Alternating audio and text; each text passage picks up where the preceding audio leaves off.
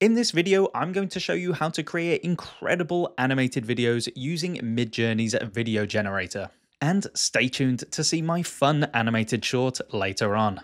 I'll also show you a unique way on using your own voice to create sound effects, and how to take your videos to the next level with a groundbreaking upscaler. Okay, let's get into it. When Midjourney Video got announced, I was a little bit skeptical as I thought it would just be another generic video generator. But when I started using it, I was very surprised. So let's see why it's so good. Now jumping over to Midjourney, I'm on the videos page, and as you can see, there are tons of videos for inspiration. What blows me away with Midjourney is how it stays consistent with the style throughout the video. So I generated this anime style image. The moment of recording, we have low and high motion in auto. So with auto, it will look at the image and animate it in a way that it feels like is appropriate for it. Otherwise, with manual, you get to type in what you want to happen. For this example, I just chose auto high motion. And I'm really impressed with the video. Now the great thing about Midjourney is that you can extend it up to four times. So at the end you get a 20 second video. So I'll play back and you'll be able to see just how seamless the extensions are. Okay, so here is the extension, but you cannot notice it at all. And here is the other extension. And finally, we're going into the last extension. And in this last one, I did add a prompt of the motorbike explodes. And here's another version of extensions. So I've got this old man sitting on a bench, and then I prompted it for the man to start flying. And then, as you can see, these extra extensions just keep the man floating upwards. And it all stays very consistent. And in this video, I extended it three times, but I changed the prompt for each extension. So for this first extension, I said he holds out his hand and creates a fireball, and it does an excellent job at following the prompt. Then in the next extension, I said he claps his hands together, extinguishing the flame. So we have him making the flame, and then he extinguishes the flame, just like I said in the prompt. And for the third extension, I said he spins around and points to the camera, smiling.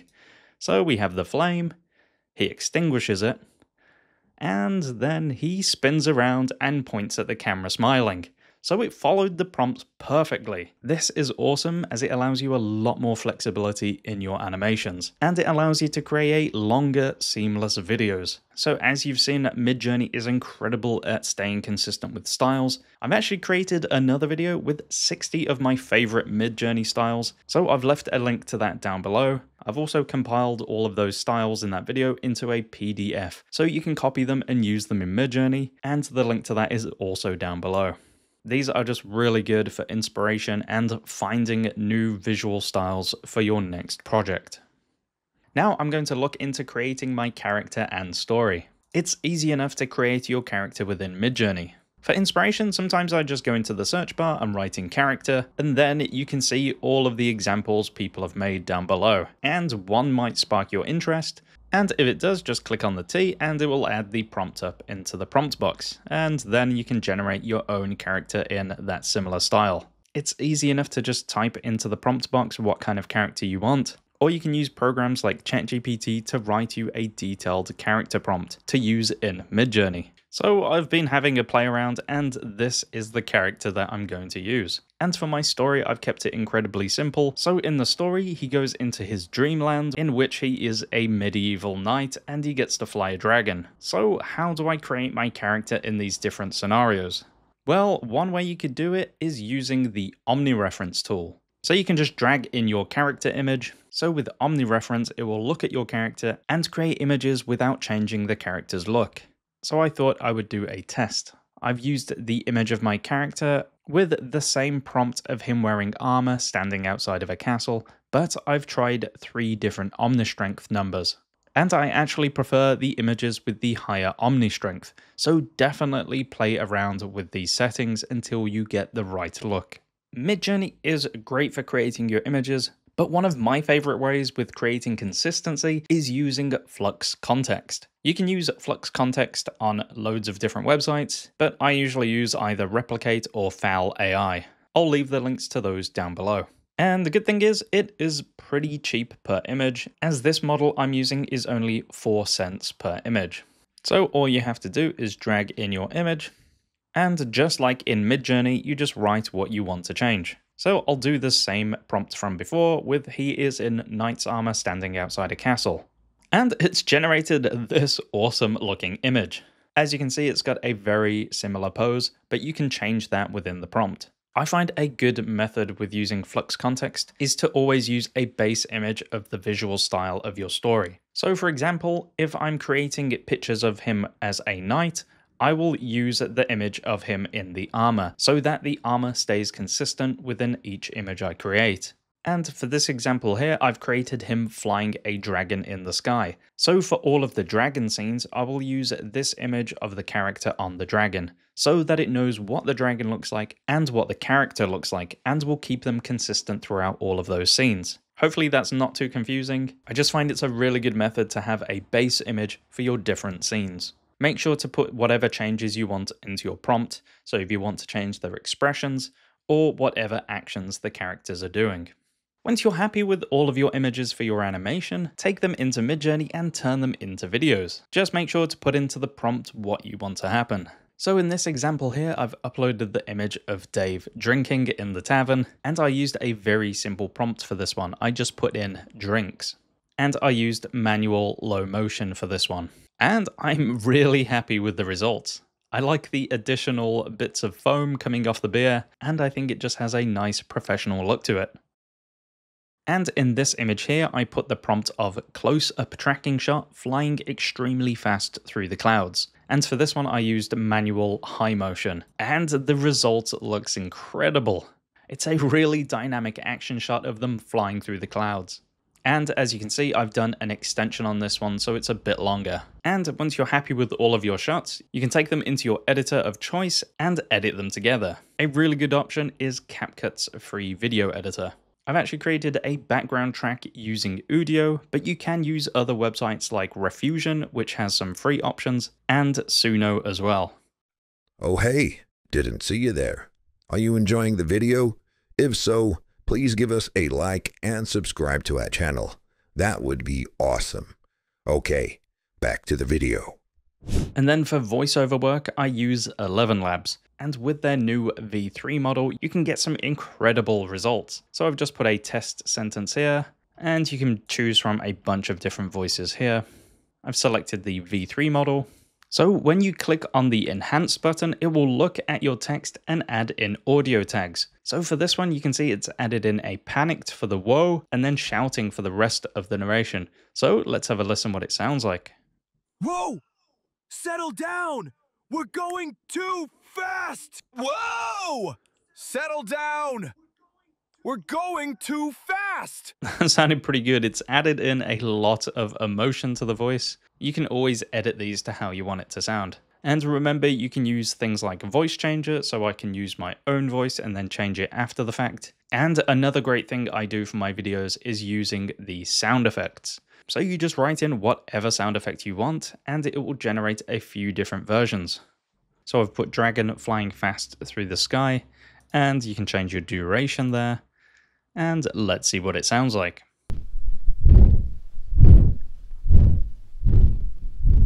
I guess it's kind of a hard sound to make, but you can definitely hear like wings flapping in the wind.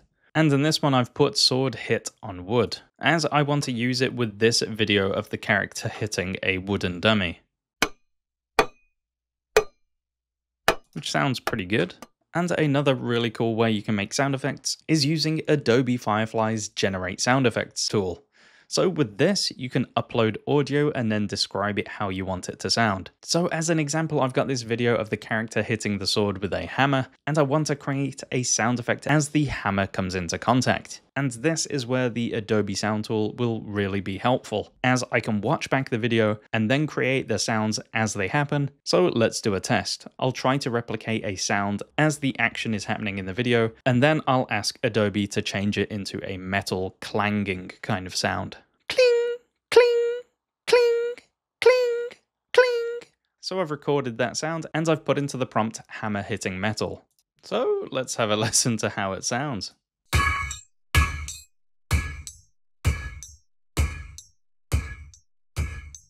Okay, that sounds pretty good actually. So if I download this and put it on top of the video,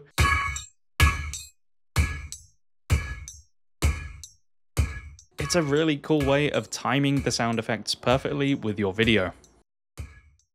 I've edited all of my Midjourney videos together with some music, sound effects, and narration, so here it is. This is Dave. he has quite the imagination. Let's see what today's adventure is. I think I need to get some sweet armor. Okay, this is much better.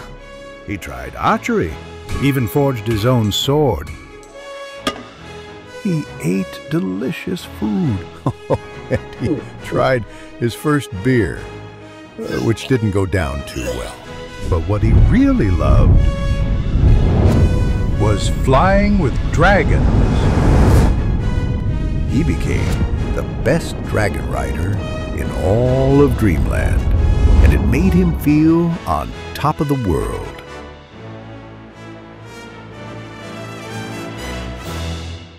I am really happy with how that turned out. I didn't spend too much time on it, but I think it's a really good showcase of just how good Midjourney videos are, and if you pair it with consistency image generators within Midjourney, or using generators like Flux Kontext, it really does help with making consistent stories. There were a couple of shots in that animation where I did some lip syncing work, there are loads of different lip syncing tools out there, but for this one I used Kling AI's lip syncing feature. I'll leave a link for Kling down below. Now let's have a look at taking your Midjourney videos to the next level. As you may have noticed, Midjourney videos look incredible, but if you're watching them on a larger screen, they can look a bit fuzzy around the edges. And that's why I want to show you Topaz's latest creative upscaler, called Astra. And from my experience, the results have been incredible. Topaz are known for their photo and video upscalers, but this new model allows you to do creative upscaling, which can really transform your low resolution videos. So let's have a look at a couple of examples. So if I move the slider, this is the original video, and as you can see, it's a good looking video, but it's lacking detail. But then if I move the slider across, just look how good this new version looks. It still looks like the original video, but it's added so much more detail and it's made it look a lot better in my opinion. And in this example here, we have this blue hairy monster, and I thought it may struggle with the hairs on the monster. But as I move the slider across, look at how incredibly detailed it is now. I'm really amazed by this as it still maintains the characteristics from the original video, but just adds so much more detail and clarity to it. It's very, very impressive. And this is a great example of why it works so well with animated looking shots. As the original is just lacking a lot of detail, but then with the creative upscaler it's night and day difference, but it still retains the characteristics from the original video. So to start off, you just drop in your video and I'm going to be testing this video of my character. Then once it's loaded up, it will give you some options on the left here. So we have a few options to play around with. We have precise and creative. So with precise mode, it will just add a lot more detail, but more resemble the original video. But then with creative mode on, it still adds a lot more detail, but takes some creative liberties on adding extra details to the shot. So I'm to test out a few different models with this one video, and then we can see the differences. So we have precise and creative modes here, and you get to choose between speed and quality. So with speed, it will cost less and give you faster outputs, and with quality, it will cost a little bit more with a bit more quality. You can either choose 1080p or 4K resolution outputs. You can also change your frame rates up to 120 frames per second, and you can go up to 8 times slow motion. So I'll export the same video but with different settings and we can see the differences. So this first one is with the precise speed mode upscaled to 4K with the original 24 frames per second. And I am very happy with how that turned out. Just look at how much detail is added into the shot. It's gone from looking quite dreamlike and blurry to a really refined looking image. I think it looks really, really good. You can do side by side, and as you can see, it just looks a lot better. And for this next shot, it is the precise quality mode. So it's still retaining the look of the original, but with a bit more added quality. And to be honest, I think it looks very similar to the speed option. And here's a test, but just upscaling to 1080p. And while it's not 4K, I still think it is a big upgrade from the original image. And now this is the creative subtle version, which has been upscaled to 4K. And it looks incredible. As you can see, it's added some little details to the armor pieces here, like some little speckles and marks. And overall, I think it looks really solid. It looks more like a professional Pixar kind of animation. And here is the creative bold version. So with bold, it should add more details to the shot, and it definitely has added a bit more refinement. I think it looks really good. It does look a wee bit over sharpened in areas, but going from the original image, it looks insanely polished. And this is another test, but with changing the frame rate to 60 frames per second. And just look how smooth the animation looks compared to the original. It's pretty amazing how it has filled in those frames and makes it look a lot smoother. And here is the two times slow motion version, which looks incredible. This obviously is perfect if you want to slow down your shots, plus you're getting a longer video out of it. So it's gone from 5 seconds to 10 seconds now. This could be really helpful if you want a slow motion cinematic scene.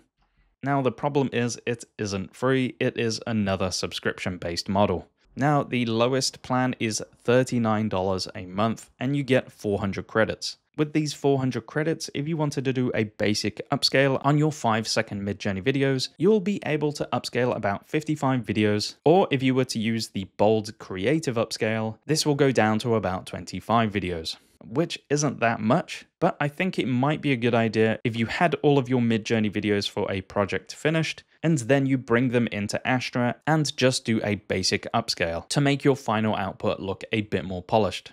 Otherwise, Topaz do have other AI video upscalers you can check out. For creating videos in Midjourney, I would highly recommend either the standard plan or the pro plan. The standard plan starts at $30 a month, and they give you 15 hours of fast generations.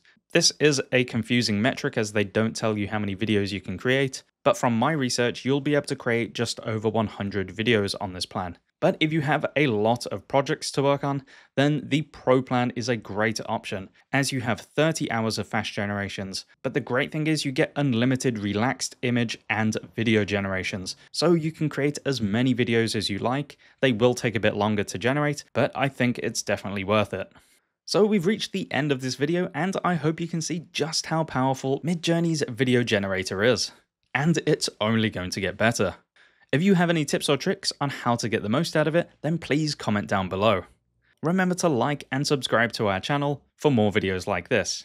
My name is Jack, thank you so much for watching, and I will see you in the next one.